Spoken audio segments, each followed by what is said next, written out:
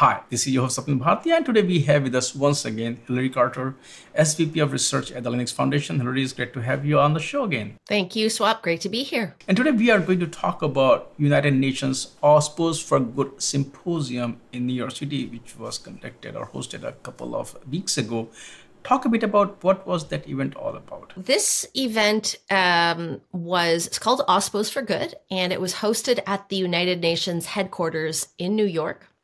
It was the second year that there was such an event uh, by the same name. Last year in 2023 was the first time uh, the open source community convened at the United Nations for uh, a fairly informal one day event. And there was a delegation from the Linux Foundation in, in 2023.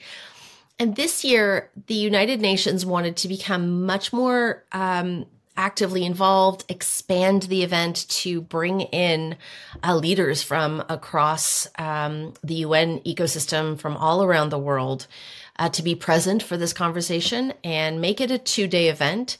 Invite as many representatives from the open source community as possible and really bring together um, the two worlds of the United Nations ecosystem, uh, the leaders of, of uh, leaders and decision makers in terms of policy and um, government institutions as a means to accelerate open source adoption and maybe hope to uh, make open source uh, part of government policy to use open source first and ensure that public money is going toward using public code. So those were the origins, and we were really excited to be a part of um, of the 2024 event. The Linux Foundation was invited to be part of the communications committee, and I was the primary liaison on that uh, committee. Uh, a number of us were also invited to be speakers, so I had that opportunity as well. And can you also talk about why is UN interested in OSPOs or open source? What does it mean for UN? Now, I don't speak for the UN, but this is the the trend that I see. Um, I, I see a much more widespread understanding among public leaders as to the the value for sustainable innovation that open source open source creates that there is a greater understanding that open source software open hardware open standards and open data provide the world with sustainable development opportunities sustainable tools um, open communities trusted technologies, creating opportunities for more secure technologies. And that's why I see a greater interest by the United Nations in becoming more actively involved, taking on a formal role in hosting an event, inviting the world's open source leaders to contribute their ideas and uh, their knowledge as to how we can accelerate the goals uh, that the United Nations identified the 17 um, sustainable development goals and how open source as a as critical digital public infrastructure uh, is essential to our ability to even try to meet those goals. The 2030 agenda is fast approaching and we need to pull out every tool in the box and open source is very much a part of that uh, equation. Our, our world is hurtling towards 2030. Uh, we recorded the highest uh, temperature on record in 2024, and time's running out. So it's great to see world leaders through um, a, a, supranational organization like the UN taking um, a leadership role in articulating the open source value proposition. So I'm very, very excited about that. And the more people understand the opportunity, the more that governments understand that open source is an incredible resource for innovation, for building climate resilience, then we have a chance to uh, accelerate progress to meet those goals, um, potentially uh, on a, a, an accelerated schedule. Of course, open source it plays a specific role. But if you look at some of the challenges that you mentioned, of course, climate crisis is one. There are a lot of Linux Foundation projects. A good project is LF Energy, AgStack. Can you also talk about what kind of foundations within Linux Foundation are there which are kind of created to help industries, governments, or you know other stakeholders to address some of these challenges? We were able to identify uh, those specific project communities at the Linux Foundation that were really created to solve uh, climate specific challenges, namely LF Energy. I think that project, more than any, um, was really created to address climate action and to uh, advance the digitalization of the energy sector uh, to make electricity uh, production, distribution, and coordination much more effective through open source technologies, that we would have a better chance at realizing uh, the clean energy revolution and uh, clean ener- energy implementations if we together as a society collaborated on the technologies that are essential to realizing that goal. Um, so LF Energy is a great example of uh, a project that that really has climate action at its core, and uh, others like um, AgStack Foundation looking at uh, the agriculture sector and how to how to make smallhold farmers uh, more productive and um, increase crop yields, use technologies in smarter ways that help uh, uh, realize some some important goals specific to um, feeding people. As uh, you know, zero hunger is, I think, the second goal in the 17 Sustainable Development Goals. Zero poverty is the first. Um, no poverty, and then zero hunger, uh, coming very um, soon after that goal in, terms of it um, listing the urgent ones first. Um, other projects at the Linux Foundation, like the Hyperledger Foundation community projects, they were established for other purposes to uh, improve the way that that digital assets are shared and issued and exchanged and stored.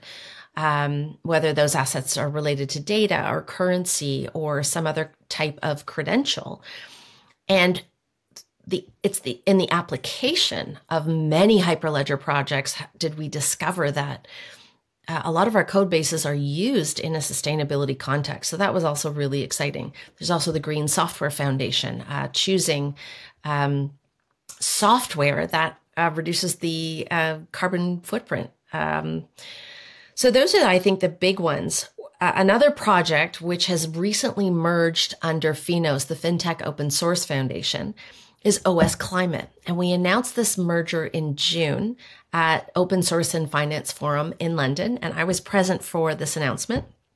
And it's really wonderful because OS Climate uh, was a sustainability focused open source uh, project community, building out tools uh, related to um, identification of, of climate risk, uh, of, of transition, uh, transition risk, um, and um, physical risk, where uh, an organization has some kind of risk, either transition risk or or physical risk, um, from a kind of climate threat. Is the company in a hurricane path? Is the company in a potential floodplain? Are they near a fault line?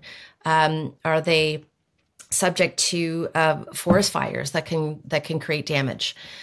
And by merging the tooling and analytics and frameworks of OS Climate with the FinTech Open Source Foundation community, the um, banks and the asset managers and the fintechs, um, that opened the door to huge pools of talented contributors who have a vested interest in uh, market resilience by way of climate resilience and bringing in all of that talent from those organizations to contribute in the OS climate tools and analytics software so that all parties could make uh, responsible ESG investment and help supercharge climate finance into some of these projects was a very exciting development. And that was part of what we were um, uh, delighted to convene uh, and discuss in New York was this amazing opportunity between OS Climate and uh, and FINOS, now a merged uh, Linux Foundation project. When I look at all these global challenges that we are facing, and also if you look at some of the major technological innovations that are happening, Linux Foundation is playing a very critical role. Linux kernel is the backbone of modern, you know, infrastructure. It doesn't matter whether you're Apple, Microsoft, Amazon, everybody, the cloud runs on Linux. And then we look at Kubernetes. What distinctive edge do you see Linux Foundation has because of these projects? That even when we look at these global challenges, we are not looking at uh, a small organization focused on a, small niche open source within the tech industry. We are looking at a much bigger picture. So, can you talk about the much bigger role you folks don't want to talk about it, but Linux Foundation is playing in bringing these major changes in our world? Wow, that's an excellent uh, uh, question swap. And i think the, the the value that the linux foundation provides in terms of building a, a, community around climate resilience and sustainability is by way of the scale of open source projects that have grown under uh, the linux foundation and through our engagement with community our ability to bring in new developers and really help projects grow proliferate um, and and hyperscale and the linux uh, kernel project is is our um, most notable example uh, kubernetes being another one. And i think by way of demonstrating the success of of existing open source projects used in other contexts contexts we have an opportunity to create that kind of trust for lesser known open source projects to be used in a critical context and so that's our contribution. We've proven the methodology. We have demonstrated that through community, through openness, we have this opportunity to create trusted, widely used technologies. And we're encouraging more actors, more parties, more decision makers, more organizations, governments to get involved and be part of this um, once in a generation opportunity to, to build out sustainable uh, infrastructure. The unfortunate thing is we don't have a generation to realize this. We have to do it now. So we hope that um, trust and goodwill and reputation um, are achieved by way of openness, by way of the number of organizations who are part of the Linux Foundation building out our projects, that we've proven the methodology enough that new entrants to open source can say, ah, if others can do it, then we can do it too. If the Linux Foundation believes that climate is important, then we should probably get involved. And we're hoping that that's the message that we can that we can convey, and the lesson that can be learned from past projects that we have been uh, very fortunate to be a part of uh, their their growth journey. And also, can you talk about from outsiders' perspective to get all the industry players? Can be a daunting task but when you work with linux foundation because you it doesn't matter because it's a foundation of foundations x company will be part of some y foundation within linux foundation. So how it makes it easier even for our bodies like un to tap into the whole industry by just tapping into linux foundation? Yeah uh, uh, we are that gateway to um, hundreds of different organizations and that is a value proposition uh, for collaborating with us is that doors become open to conversations that might not otherwise be possible outside of an open source open source community. Um, and that's that is the main reason and opportunity for organizations to get involved is to have a seat at the table. Participation is open for everyone. You don't have to be a member but you do have to um, raise your hand and and get involved and start contributing even if it is in a non code contribution, even if it's in a non monetary contribution. First of all, by, by showing up, by um, getting informed, by reading some of our literature, by attending some of our meetings and our events, can you get to know the the hundreds of different organizations who are actively contributing code, who are actively funding uh, open source projects, and uh, that is that is a, a, um, a really exciting opportunity. And it's one thing that the LF does incredibly well is be able to convene parties. Uh, we don't have all the parties at the table yet, uh, but we are off to a pretty good start. Uh, we just need more folks to, to come on in and get involved. We had this discussion around sustainability last year also at Vancouver. Uh, can you talk about what other activities, what other events are taking place where Linux Foundation is involved in terms of this topic of sustainability. In September, uh, LF Energy is having its conference in Brussels. Uh, and so everybody who uh, is anybody who has a, an interest in open source technologies in the energy sector will hope to uh, be convening uh, with LF Energy in Brussels. Uh, that's the week before we then convene in Vienna for Open Source Summit Europe. We hope to have um, a, a, panel discussion in Vienna on uh, OSPOs for Good, the event that was hosted at the UN in July, and uh, help further the uh, bridge building exercise with our, our community participants, letting them know about the work that we're doing, um, the the opportunity to engage further with the United Nations through our events is uh, is critical. Um, you know, there are there are numerous um, uh, working groups that take place within project communities. They might not necessarily have a uh, a live event, but let's think about about sustainability in perhaps different terms, not just uh, the electrification of our world and, and climate action, but there are other types of, of, of goals that we as an organization are upholding and that align with the sustainable development goals. Things like diversity, equity, and inclusion, or enabling access to digital infrastructure. Um, DEI working groups are um, are open to anyone, and our project communities like CHAOSS uh, are a great place to start and get involved. If you're interested in a particular project community, many of our, our project communities have DEI working groups. And one of the challenges that we identified in New York in our conversations is well known, but it was validated there as being an ongoing challenge is one of access. It is one of inclusion. And um, we have a responsibility to further uh, make open source communities accessible and inclusive so that they can um, proliferate, that people from the global majority can start to use them and innovate. They need, however, access to infrastructure. They need access to electricity, to equipment, to good Wi Fi. Um, and so it, it just it, it, illustrates how our community really is interconnected that there's the technology layer, there's the access layer, um, and then there's the diversity of participant layer, the diversity of thought layer.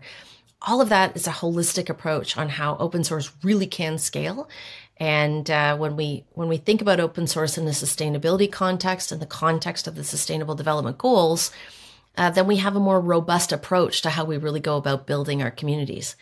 There was another aspect that was discussed, and there are many um, events taking place around security through the work of the Open Source Security Foundation. And uh, there, uh, that organization has a presence uh, um, at Open Source Summit Europe in Vienna. There's also a conference taking place in Georgia, Atlanta, Georgia, in October called SOSS Fusion.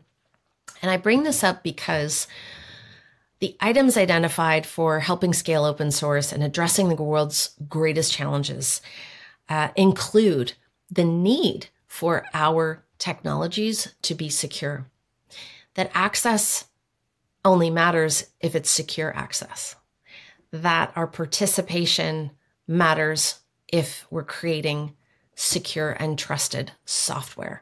So we cannot ignore um, the security responsibility within the context of sustainable development. And so, back to your original point about what events are taking place, what should we be aware of? I would encourage anyone interested in sustainability to think um, strategically about the role of cybersecurity and the events that are taking place around making more secure open source software and how it is everyone's responsibility to build innovative solutions, sustainable solutions that are secure by design and not secure by review uh, as an afterthought.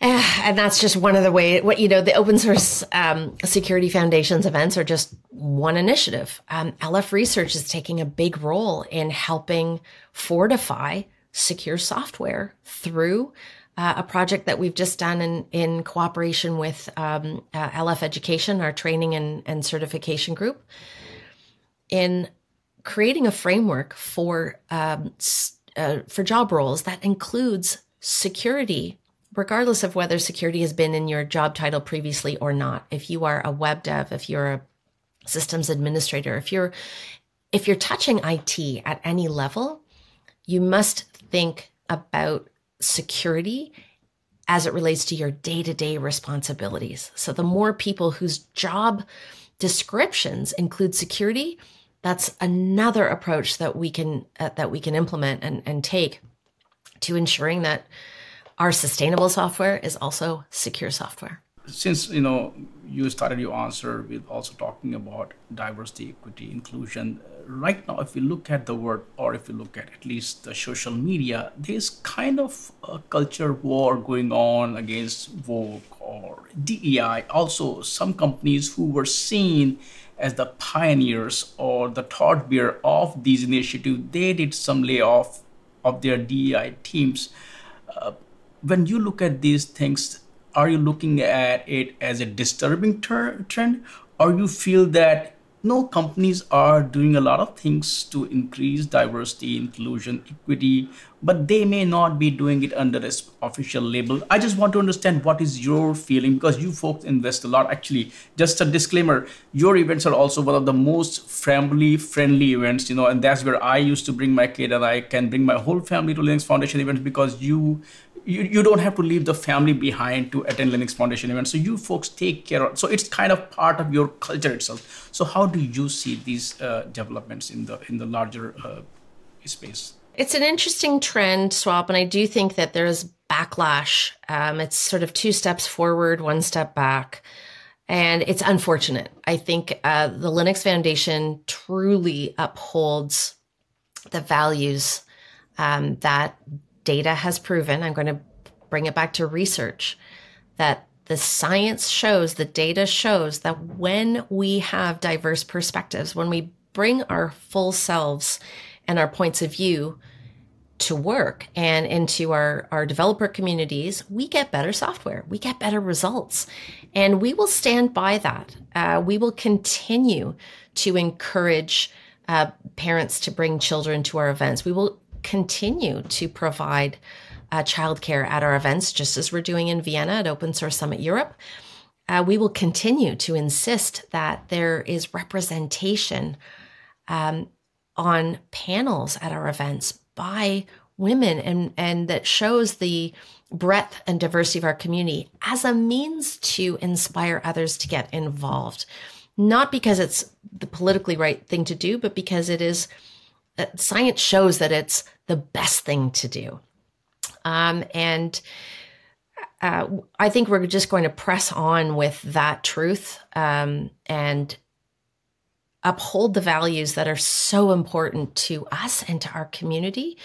And I am certainly a beneficiary of that. And I have a responsibility as a woman in tech to be present and to create opportunities for, for people from underrepresented groups uh, because I think everybody um, has a, a, very important perspective to contribute as it relates to the way technologies are created and the way the value proposition of technologies are created, even if it's about uh, localization, uh, language, um, uh, opening doors across all all levels of our community to increase access is only going to make better tech. And until that data changes, I don't think we're going to change our approach. Hilary, once again, thank you so much for taking time out today, uh, joining me and talk about, you know, this this recent event, OSPOs for Good. Thank you so much for these uh, great insights. And as usual, I look forward to talk to you again soon. Thank you. Thank you, Swap. It's such a topic that's near and dear to my heart. So I really appreciate the opportunity again.